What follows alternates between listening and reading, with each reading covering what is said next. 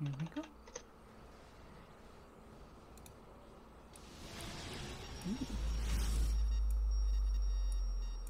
Is So, this the same song? yeah, this is the uh, spooky music song. Well, the uh, shock one. shot song. Mm-hmm. My favorite after you linked it last time because I really liked it. So, where are my fly hands?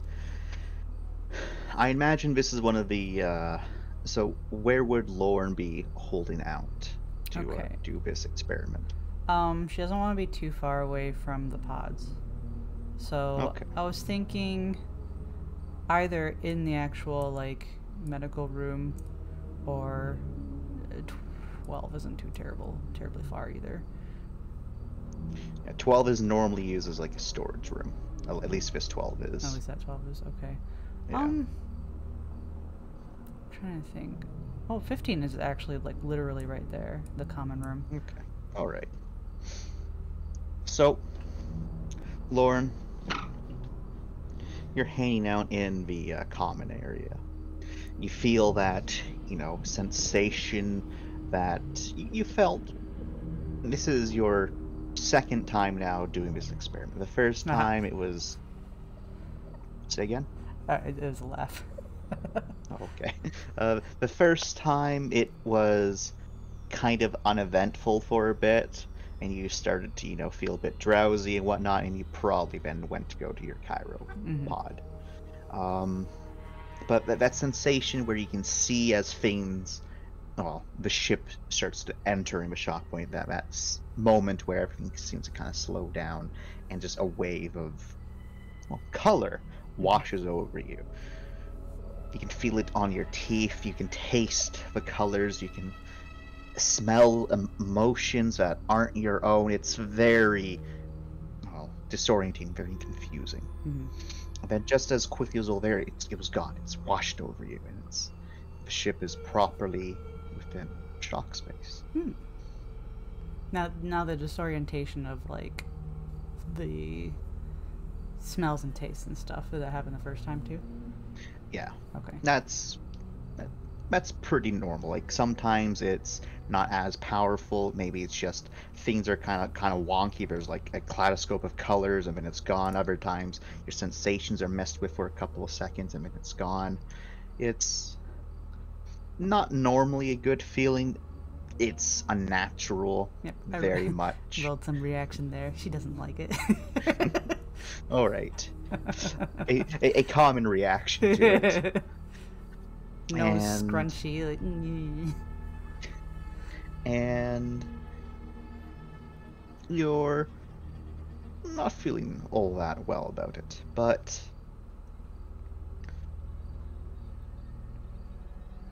as you are sitting down waiting for something to happen, she what looks like a shimmer, vaguely humanoid in appearance, moving through Verassi's halls. You can see and as you focus on it more and more you see not more details of it but more of what it's doing more of that it's not alone. There's other humanoid shimmers also around the room. Oh, and i imagine lorne's looking around right Yeah. Okay, so Lorne, looking around the common room, you see there's there's at least nine of them. There's three sit seated at this very same table you're at. You can mm-hmm. see vague gestures of what you can only assume to be their arms, but you can't see any digits. It's almost like they're communicating with each other, but Oh. none of them seem to notice you. Others are going around. It looks like one's even off by a corner, maybe cooking, but where they're doing the motions as if they're stirring some sort of pot, Mhm. there is no pot there, and there is no stove there. Ooh, that's neat. And as you continue to look around more and more, well, Are they sh- familiar? shimmers come. None actually, no. Okay. In, in total, though, you you figure there's maybe twelve separate entities. hmm Um, some seem to be interacting with others. Others don't seem to notice different ones here and there. It's and none of them seem to real- realize your presence is there either. It's like watching a image move, but well, you're part of the image, but you just can't interact with it. Mm-hmm, mm-hmm. You have all of the information there, but at the same time, you don't understand information given to you. It's hard to truly understand what's going on. What do you do? She will continue watching them. Because if there's something Okay. is good at, it's people watching. Okay. Roll me a uh, straight attention, Okay. followed by a uh, cold. Okay, straight attention. One. Awesome. I'm glad that wasn't a fail.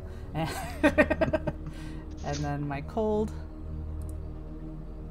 Oh. Okay, so thankfully this isn't going to affect our, uh, you know, lovely Mm-hmm.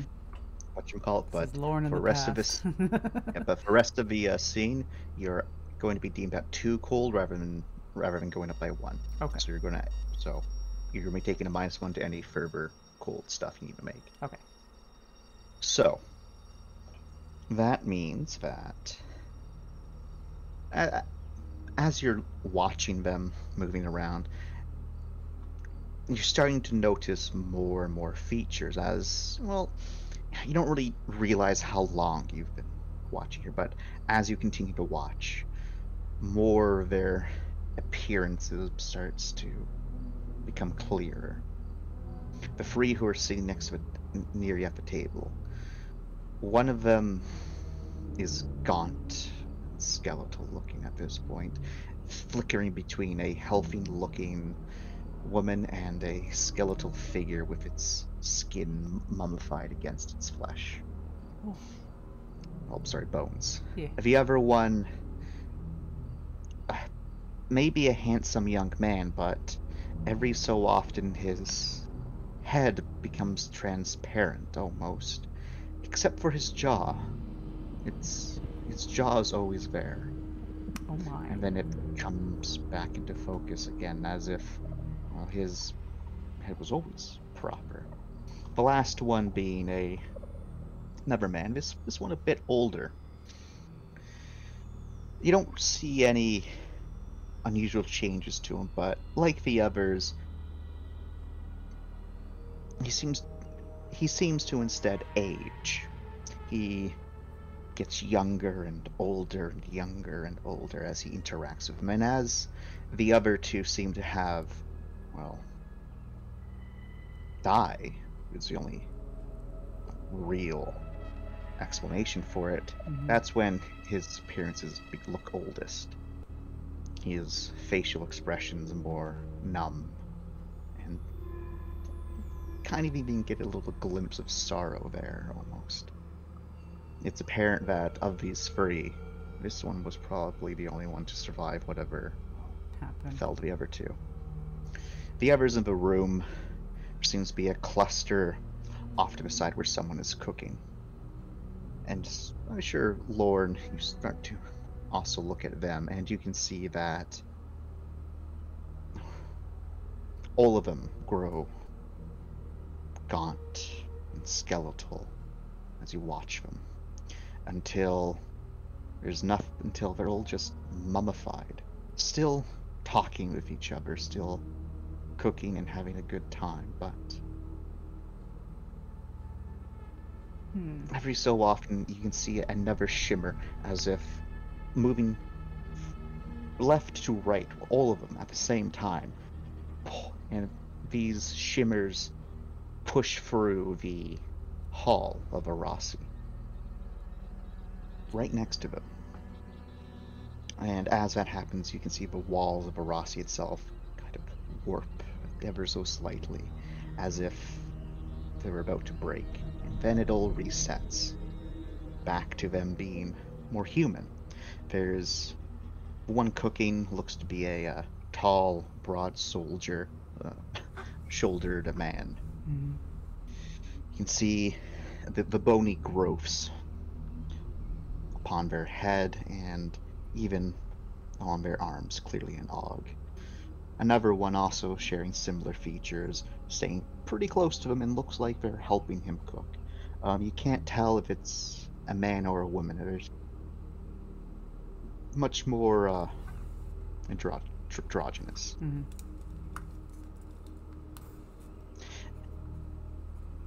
The other four, even mix of men and women. It's too hard to make out any any real details, and they almost look well, much paler than many of these other specters you're seeing so far. Almost as if, well, for one reason or another, their forms aren't nearly as defined, not as crisp. And you're not too sure why that is, but still, all the shit same. The six of them, every so often, are just sucked through the wall. It's just those then, not the other Yeah, ones. Yeah, just, just those six seem to get sucked through the wall. Huh. There's another group, this one of four, who at first you thought that they uh, were just traveling through, and then again and again, and it's as as they come into focus, it's certainly they're traveling through, but they're wearing clearly armor, carrying some sort of well, weapons one of which having a massive looking hand cannon, the other three serrated blades and axes. And it's not until they come into full focus that you've only heard stories of things like these. You've never seen anything in person or, well, learned too much about them, but I want to make sure I get their name correctly. You know, these are Marls. Some of the worst of the worst Vikings. Well, sorry, no, uh, raiders in the uh, explored galaxy. A people entire culture involves around pillaging, destroying, and looting. People who like to assault ships and get nice and personal with it. And they charge into this common area from the uh, from the sou- south end charging up north And they do it again And as they- again. And they do it again and again and you can see the, the one first with a hand cannon moves off to the side and they seem to clearly fire at their entire body rocking with it before they suddenly just their whole body grows transparent and it seems like the space around them gets hotter. You can f- see the steam rising from that area. And then the other two, sorry, three. One of them is, you can visibly see as their arm is, well, broken off as something impacts her, but they keep on charging forward before they stumble to the ground at the end of the common room. And the other one running straight for where the main common table should be, Mhm. almost passing for you, as they their body rocks back as they fall into the common table as something hit them in the head, like with one of the others that are currently seated at the common table, most of her head growing transparent. And the last one with the uh, these wicked-looking well weapons, you can see they charge up against another specter which appears only in this moment Mhm. where their axe drives down into that individual and slicing it clean off. You can see where limb was once there and then it's gone before the individual whose details become more crisp the longer you watch this melee unfold. They drive their own weapon, some sort of knife, right up into the chin and thus head of the Marl, and the two of them collapse together. And then the last group that you see are both off by the side of the of the common room. Looks like they're just playing cards. And as they play the cards, they both seem to just grow old. And eventually, there's no one sitting there playing cards. from the somewhat horrific sights that you've been watching this entire time, hmm all- for it to just seemingly these two. Nothing. You don't get the sense of something bad happening with them. Just the sense of two individuals who've served on this vessel. hmm Gone through the passage of days. time. Yeah. Is there anything Lorne does? Lorne will. Obviously, she's been paying attention to everything as you described. Um, but if she finds that focusing on something makes it more apparent, then she'll shift her focus from the violence to the more calm people, um, like the people near her or um, the two in the corner playing cards. Okay. And she'll just she'll watch them for a bit and have some th- theories bubbling in her little curious brain on um on the the jump itself because like you said that um there's always stories about how jumps are right Yeah. because there's stories about other people seeing stuff Yeah. um, has it been s- not circulated, but are there like rumors and stuff that you you see people who've died or blah blah blah? Oh, all the violence or- time. They're okay. uh, it's commonly referred to ghosts of the shock, Mhm. um, where people who served aboard vessels will claim to have see, see you know old people that served on the vessel may Mhm. have died on it or maybe spent most of their lives on it and a lot of that gets filed away of just you know paranoid hallucinations of someone who then read about the history of a ship and then their mind filling in the blanks as per normal nothing can be proven Right. Oh, definitely. Lorne doesn't. I don't know if Lorne so much as believes in ghosts, but she believes in this dream. yeah And what she's seeing now makes her feel like it's almost like the ship is taking a dip. And well is kind of just giving her a glimpse into other consciousness. Well, there are many within your fate that do believe that the shock points are the closest things humanity have to a stream. And that the entire reason the shock shock lanes work is because of the stream's existence. Everything's interconnected. Shock space is just that web that interconnects everything. This solidifies her faith. But I need you to make jarring me some of it is. I, I need you to make me a never cold and a never attention. Okay. Do you well, remember? You're taking a minus one to your school now. Yeah. Um. Okay. Cold. Right, you're good. And then let us willpower this attention. At this point, I have a fuck ton, anyways. Uh, It's not like it matters. Shakes fist angrily. All right, so with that, you're able to. Uh, you're watching the the group that is closest to you at first, and slowly around you. At first, you don't exactly notice all the cues of you watching as they continue to replay the same scenes, but those scenes grow longer and longer, and you start to be able to hear the wisps and whispers of these individuals. You start to be able to smell the coffee that one of them is drinking. You can feel and taste the uh, smoke that the woman is, you know, keeps on bringing to her lips.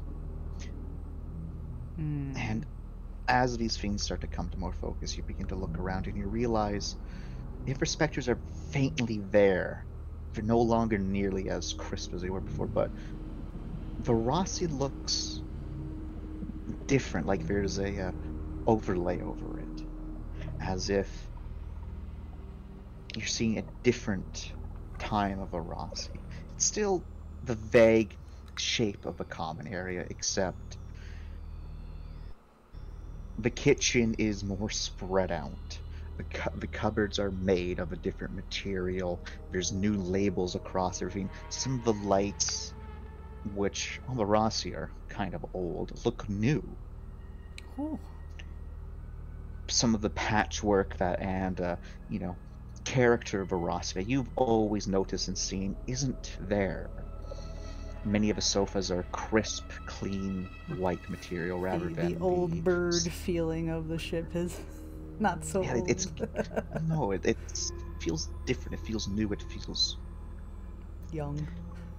yeah, and you get the sense of that as you still can't exactly understand the words that are being spoken by these individuals, but you you- also get the sense that there's more individuals here, but you just can't see them. And as you continue to focus, that's when things begin to get a little bit more weird. Was there uh, a time limit that Lorne was suggested to have made her way back to the pods? Um, only real suggestion was don't be up long. Was there a limit? was there an There was- approximation for how long it is? Uh, there wasn't, but um, it, it's depending upon who you spoke to, you, you would get a different reaction. okay. Some was- people would be just like, "Don't do that." The captain would be like, uh, "No more in a few hours." Okay. Um, I imagine your your glorious Doctor Ray would be like, "Don't be stupid. You're right. Go to bed." Hash would just shrug. Amanda would look at you like you're a fool and say, "No more than four hours at most. Even then, you're Yeah. cutting it." well, Mel said a couple hours, right? So Yeah. Is it possible to still keep track of time on a ship on during jump? Yeah, it, it's possible. It's just it can get wonky. Okay. How Uh, much things time stop do working I at times. figure time has passed right now? Um, roll me straight attention. Okay. Two. So, you think maybe an hour has passed at this point. Okay. It- It's kind of hard to say. It's normally, you know, watches and things need to get reset when, Mhm. you know, but it feels like an hour has passed. We'll, we'll stay up until it feels like two hours. Okay, so with that in mind, you do start to notice that the three who are sitting around you eventually Oh, she'll um she'll maneuver herself so she's in the least obtrusive place all right so so you start to do so as things seem to be solidifying. yeah and as things get more and more crisp more and more clean more and more clear you notice lorne that the man who well, lost part of his head. He's for some reason he's permanently stuck like that now. And it's crisp and it's clear and you can see the various bits of his skull and you can see that whatever it was was not clean. It was not pretty. Mm.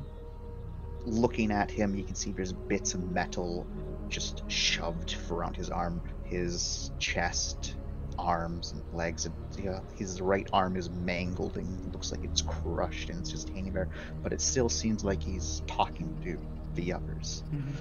the woman, meanwhile, she's permanently stuck looking like a s- skeletal figure. Her, you, you get a sense that her whispers become raspy. And every so often, you swear it sounds like someone's choking for air. But it's the last one which is most interesting, as while the, those two seem to still be stuck in conversation, they turn their head to look to you, Lorne. Right at you. There's a sad smile on their face. And you can hear words spoken from them, clear words. Don't pity the dead, for they are dead. Pity the living, for you still suffer. What is your story? They kind of shake their head a bit before they say, My story ended long ago. My story was that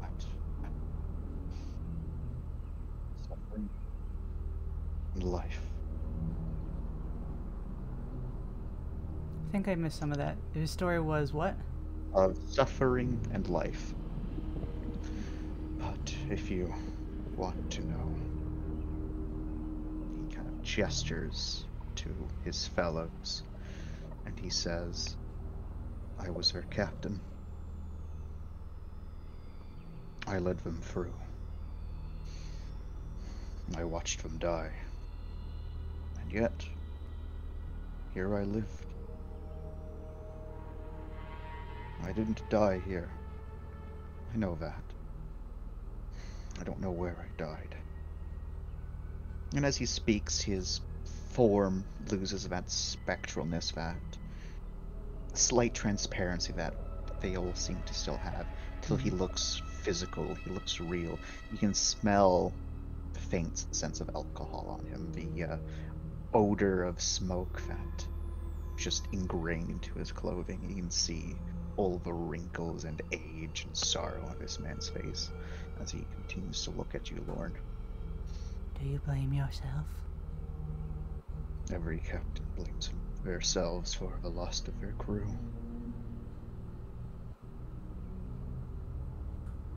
I'm sure they believed you were a good captain. Does not matter what they believe. Matters what I believe. Kind of looks off towards a section of the uh, Rossi where he kept on seeing those specters fall into.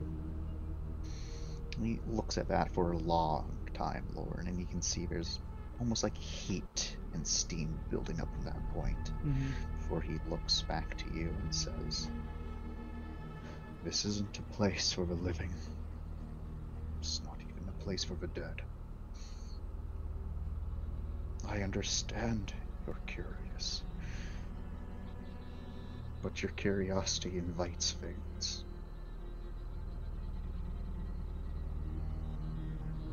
She nods. Would you suggest I leave? He nods his head and says,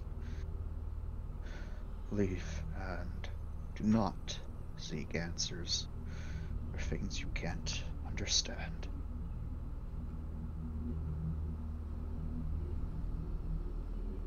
He, his head kind of shoots towards the uh, that section again, and you can see now the size of a Rossi are starting to almost bubble, as if something is actively melting the hall and you can feel the heat. You can smell the paint chipping and melting as the fumes start to fill the air. And it's it's not a very good smell. As the man mm. speaks again and says, "The dead are already dead. It's the living you should pity." And he sounds, despite his words, almost afraid. What do you do?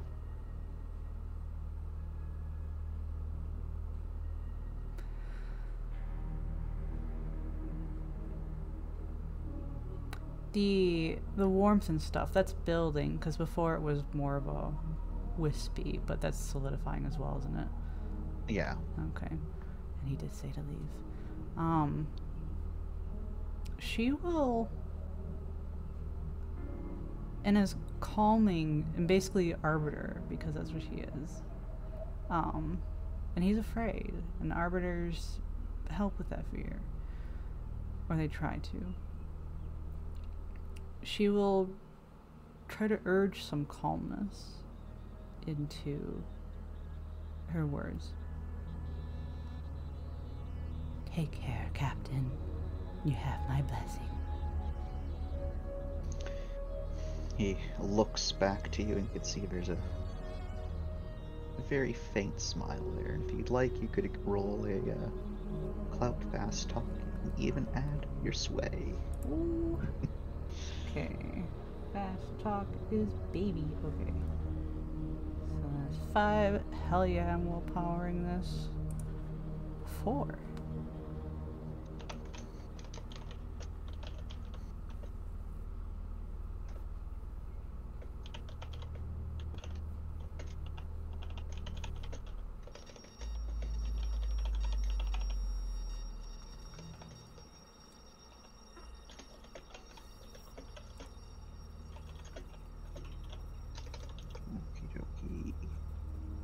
So, he does smile at that. He'll say, I will. And he looks a little bit more confident towards that section of a hall which is beginning to clearly melt and cave in Mm-hmm. and you can start to see the wisps of something dark. But as this nameless captain continues to stare at those things, you can see the other specters and him, all of them start to face it. Mm-hmm. Even those that were fighting seem to stop in their fighting, as if to look at what is to come. I will jump ca- in, and because he had bade me to leave, so she'll have begun making her way towards Okay. the hallway. So you're able to do that, and you get a sense that your words at least inspired this captain enough to maybe face whatever their fear was as those sense of how Varasi is different. It's still different even when you leave the hall, but it's still arranged the same way. It's just things look newer, things look different. Mm-hmm. But whereas before you could clearly hear the sizzling and bubbling and the starts of something sinister whispering, that's the only way you can describe these sounds. They grow f- fainter. Not because you're moving further away, no, no. You know why it's growing fader. It's because you've managed to give hope to the dead. Hmm. At least, that's how you take it, Lorne. And how she interprets it. how you interpret it. But the question is there as you go to your cryopod and you know press the automated system of what do the dead have to fear if they're already dead? that is a good question. He did say fear the living. Or pity, pity the living, sorry. And yet, something made all of those specters and all of their different times stop to stare. And that's where we'll end that. Oh. Nice. A dab. A dab. I hope you enjoyed your experience. Chance. did, thank Holy shit, dude. Bro. Yeah.